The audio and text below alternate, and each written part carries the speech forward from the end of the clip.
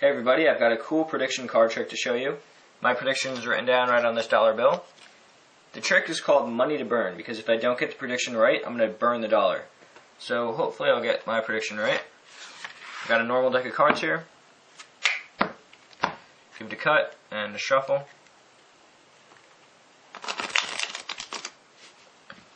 Now, I'm going to riffle through the cards. I want you to tell me when to stop. Okay, stop.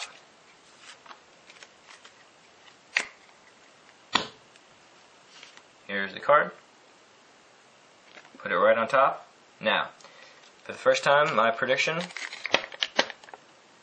the Eight of Clubs. Let's see if it was right.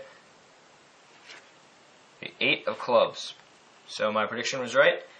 Um, I don't have to burn my dollar. Wait, oh, the prediction wasn't right. Alright, well I have to keep my word, I'll burn the dollar. Or I could use some magic and change my prediction. So just a little bit of magic, it changes into the three of spades, and the top card changes as well. So for this trick, you're going to need a deck of cards, a lighter, a piece of paper, or a, a dollar bill or any bill, a regular pen, and another pen called a friction pen. It's a Pilot friction pen. You can see. Um, I got this at Rite Aid. You could get it really anywhere pens are sold. Uh, they're pretty common, or you could get them online, I guess. You could just really go to Staples or Office Max, any store like that. So uh, you just need this special pen because it's an erasable pen. It's got this little tip, and it uses friction to be erased. So friction causes heat. So a lighter obviously causes heat. So it does the same thing that a friction, what the uh, tip would do, and it erases it. So I'll just give you a little example.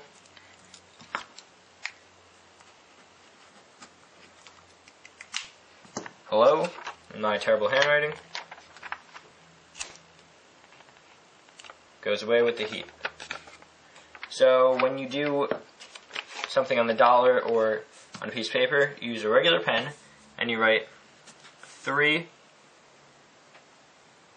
of clubs, color that in, so it looks like that, and then you go over that with the friction pen to make it into an 8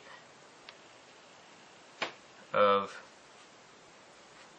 clubs. So you go from the 3 of spades to the 8 of clubs, and you can fill it in too. That. So, prediction you can say it changes into a three of spades. So you want to be careful with this because you're using fire. So obviously, yeah, be careful. So that's how you do the uh, prediction changing. To do the card trick part, you're going to have it set up with the three of spades on top and with the eight of clubs on the bottom. Sorry, you're going to do that in reverse. Sorry about that.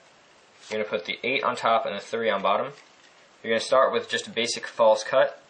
You're going to take bottom half of it, tap it on the top, put it on the bottom, put the top back on the top. So it's nothing's changed. The 3 is still on the bottom and the 8 is still on top. Now you're going to do a shuffle, making sure to have the 3 go down first. So it's still the bottom card. And then having the 8, which is over here, go on last. So it's still the top card. Once you have that done, you're going to do a Hindu shuffle, but um, you're going to take your pinky and have a little pinky break right there. Go through the cards, so the card is always on the bottom. So just go through like that, have them say stop, and you show them your card, their card, and you don't see what it is, but you show them. So you put it on the bottom, you put it right there. You put this part of the cards back on top. And then you take your two fingers right here. Don't show them that you have a break. Lift up the bottom part. Put it on top. Set it down. Take their card. Put it right on top. Now you're going to go through the uh, prediction. And you show them that you were wrong. But the top card, you do a double lift here. The top card still is the 8. So then you go through the whole changing the prediction, and it turns into a 3 spades.